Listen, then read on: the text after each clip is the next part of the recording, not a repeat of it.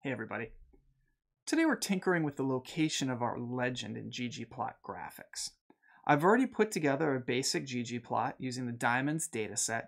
What I've shown here is a bar plot showing the cut of the 51,000 or so diamonds in that dataset. You'll see that by default, the legend for the fill aesthetic is on the right, and um, that generally looks okay, but you might have one reason or another why you might want to move that or remove it entirely. For instance, a publication might want you to put your legends above, for instance. Since this is a non-data element of the graph, we're going to control it with the theme argument. And the one that we're the element that we're looking for here is legend dot position. There we go. We're now going to specify a word saying where we want it. Top, bottom, left, or right. So legend dot position equals quote top puts that legend on top.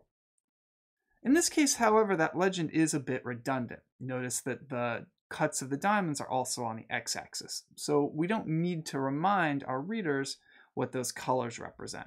So we're going to remove this legend entirely with legend position equals quote none. There we go.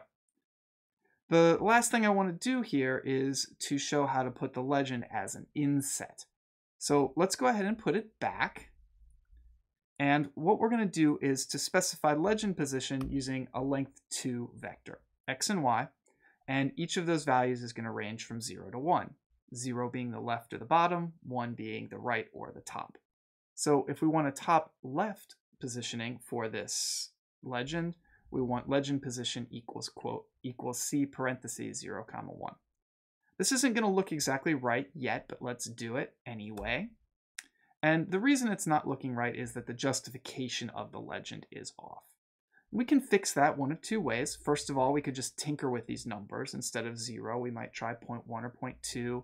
Instead of 1, we might try 0.9 or 0.8. But R can actually do this directly, as you would hope. And we can um, fix this justification, naturally enough, with legend.justification.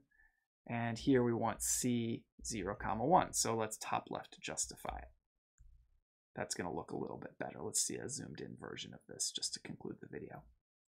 There it is.